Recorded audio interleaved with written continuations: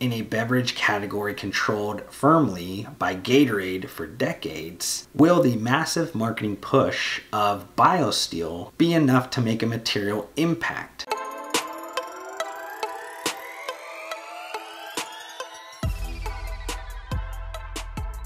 You might remember in early October of 2019, I explained about a mergers and acquisitions event between a leading marijuana company and a Canadian based sports nutrition brand. For those that haven't consumed that content, I'm going to pop up the video for you guys right here and I will also include a link in the content description. The theory of that piece of content surrounded the commercialization of CBD focused sports nutrition products. Canopy Growth acquired BioSteel for its expertise in the dietary supplements market because it believed that CBD focused supplements, especially within the US market, would become a huge opportunity in the near future. And while BioSteel did commercialize CBD sports nutrition products that you could buy through the Vitamin Shoppe, the COVID 19 effect created a resource constraint with the regulatory bodies like the FDA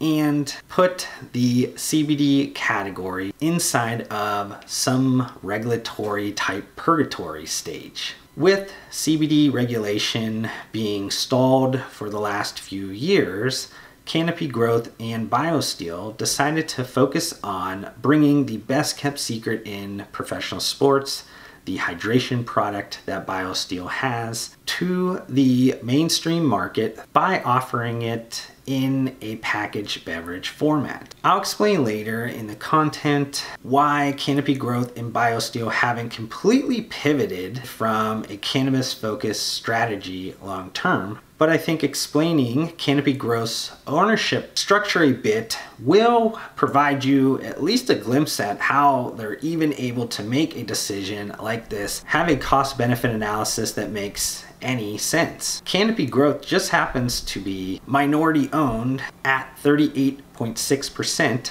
by the $9 billion plus alcoholic beverage CPG portfolio Constellation Brands. BioSteel has been leveraging Constellation Brands beer distribution network throughout the last few months to launch its hydration beverage in the US market. This has helped them quickly capture market share by landing large retail accounts like CVS, Walmart, and QuikTrip. While it's still in the very early days, BioSteel is already the seventh biggest sports drink brand according to IRI, with only a 3.6% ACV for the 13 weeks that ended May 16th of 2021. Though this is hardly clean sales data, Canopy Growth does break out the other CPG revenue on its earnings report. And within their most recent earnings report, which was fiscal 2021 in quarter four, so you also were able to see the full fiscal year. That other CPG segment, which I'm assuming is mostly BioSteel, had $54 million, and this is Canadian dollars because it's a Canadian based corporation, over the last 12 months, and it did grow 74% year over year. It's also important to note that the last quarter, that quarter four of fiscal 2021, they actually had a much stronger growth of revenue and it now has an annualized run rate of around 82 million Canadian dollars. So what's driving this recent growth? The sports drinks category is all about building awareness through marketing partnerships. So I just want to give you guys a little bit of the marketing efforts overview of BioSteel. With an ex NHL player as one of its co-founders, BioSteel has really been ingrained in, in, within the culture of professional sports since its founding. In fact, BioSteel has been purchased by 70% of the teams within the four largest sports leagues in North America. And that level of authenticity is extremely important when you're competing for attention assets within the professional sports teams, leagues, persons, and you're going up against mega beverage portfolios like PepsiCo and the Coca Cola Company that honestly have limitless marketing budgets. And even before the acquisition, BioSteel had major ambassadors like NFL star players Ezekiel Elliott and Jalen Ramsey, NBA player Andrew Wiggins, and reigning NHL MVP Connor McDavid. Now with the backing of a 550 million Canadian dollar publicly traded company that has the backing of a 9 billion dollar alcoholic beverage portfolio in Constellation Brands, BioSteel has been able to massively increase its marketing partnerships with high profile sports teams, players, and leagues. The most notable marketing partnerships include in August 2020, they announced a momentous partnership with Kansas City Chiefs quarterback Patrick Mahomes, who many believe is considered to be the new face of the NFL. It was also disclosed that Patrick Mahomes would have an equity position in the company. A month later, BioSteel signed leading NFL wide receiver DeAndre Hopkins to a multi year endorsement deal that also disclosed he would be an investor in the company. In October of 2020, BioSteel doubled down on athlete and sports influencer partnerships by signing top sportscasters and TV personalities like Erin Andrews. In November of 2020, BioSteel became the official sponsor of the preeminent college basketball tournaments deemed Bubbleville and the NABC's Hall of Fame Classic. That's along with being the official sports drink of the Atlantic 10 Conference. In December of 2020, BioSteel became the official sports drink of the Toronto Raptors and the Philadelphia 76ers. In February of 2021, the U.S. Soccer Federation and BioSteel announced a multi year partnership designating the sports drink as a sponsor of U.S. soccer. In March of 2021, BioSteel announced a historic long term global partnership between the sports hydration company and all star Luka Doncic. Doncic has been appointed the title of Global Chief Hydration Officer, and it was disclosed that he would have equity in the company. This also included the Dallas Mavericks to its growing list of official sports drink partnerships from NBA teams.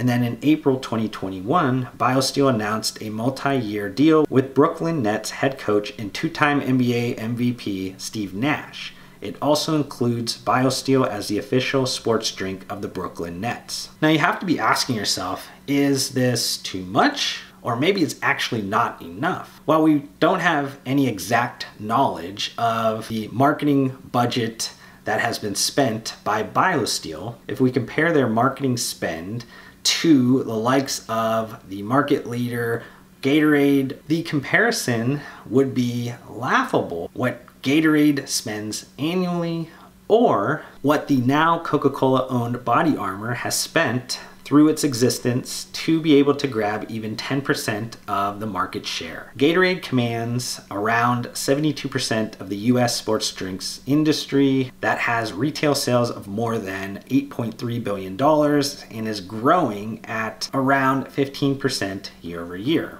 Fact is, consumer interest towards functional beverages is on the rise. That being said, today's consumers don't just want a great tasting beverage that helps them keep hydrated. They also want added health benefits. So let's bring this back to the original thesis around why Canopy Growth acquired BioSteel, and this surrounds the cannabis market. Now, BioSteel cannot compete against PepsiCo and the Coca Cola Company at their game of just basic product iterations of the non aseptic sports drinks market. But what they can do is actually play a different long game. If you noticed, BioSteel's marketing efforts are really kind of collected towards two main areas NFL and NBA assets. So you have to ask yourself, why is this? Well, the NBA announced that during the 2020 2021 year, they were no longer going to be testing for cannabis,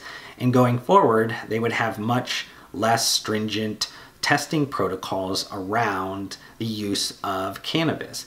Now, the NFL has created a kind of an off season that they would not be testing for cannabis, and that's between mid April and early August. And then throughout the season, they actually increased the level that would show up in a drug test and they eliminated the suspension element when a player does fail a drug test for marijuana. So, this huge softening between two of the world's biggest professional sports leagues is seen as a huge win for destigmatizing cannabis. Many, including myself, believe cannabis federal legalization within the United States will happen sometime before the Biden administration ends. So, who will be in one of the best positions to capitalize on this shift? Constellation Brands, because of its ownership in Canopy Growth, and Canopy Growth because of its ownership in BioSteel. Canopy Growth has already created distribution and retail partnerships for their CBD and CPG brands, which positions them strongly in building out route to market infrastructure for the expected significant cannabis reform. The work that BioSteel is already doing today with its marketing investments will help increase brand exposure and will pay dividends long term for the brand. So I hope you guys enjoyed this piece of content. If you guys have any questions around the sports drinks market overall or BioSteel specifically, don't hesitate to leave a comment on this content or reach out to me on any of my social media networks.